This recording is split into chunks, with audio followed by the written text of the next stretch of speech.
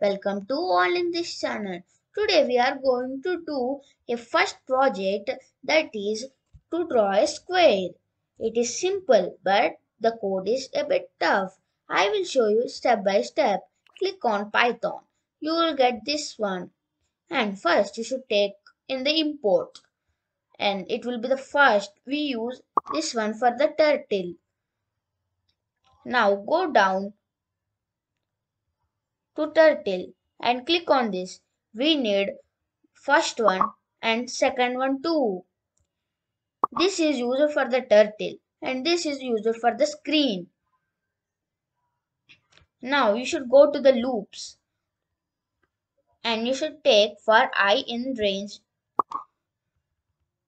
and in this number you should write we are going to learn square so that we should write 4 the square is having 4 sides so that now starting we should go to turtle and we should take the forward button means forward block. And in this duplicate this one. And what will be the output? Let us see and this one don't forget to keep left because if we keep both forward then the line will go to the straight. Let us check if we keep the forward what will be the output? Let us run. See it is going like that. If we keep left what will be there happen? You can see.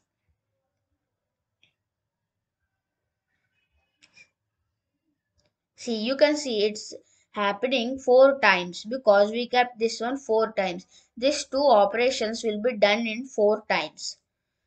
Now you can see it become four square. Now if you keep 5 what will happen you know?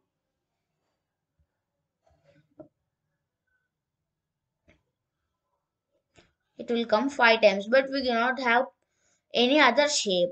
To have that one you should divide it by this one you should divide by this left side angle. You should divide by 360 360 divided by 5 what will be 360 divided by 5 anybody knows?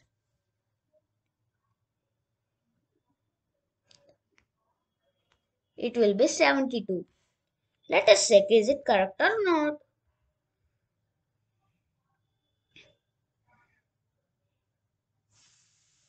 See, it is coming. It's exact pentagon. Pentagon means which it is having five sides. You can see.